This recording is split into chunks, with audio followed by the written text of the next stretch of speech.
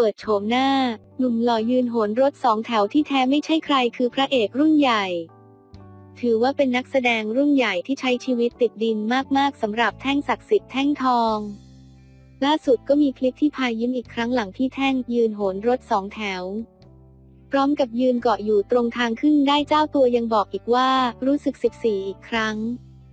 โดยเจ้าตัวโพสต์ข้อความเอาไว้ว่า ไม่สำคัญหรอกเวลาพี่รวยใครจะอยู่กับพี่ มันสำคัญว่าเมื่อไหร่พี่จะรวย อือ เปิดโฉมหน้า หนุ่มหล่อยืนโหนรถสองแถวที่แท้ไม่ใช่ใครคือพระเอกรุ่นใหญ่ ถือว่าเป็นนักแสดงรุ่นใหญ่ที่ใช้ชีวิตติดดินมากๆสำหรับแท่งศักดิ์สิทธิ์แท่งทองล่าสุดก็มีคลิปที่พายยิ้มอีกครั้งหลังที่แท่งยืนโหนรถสองแถว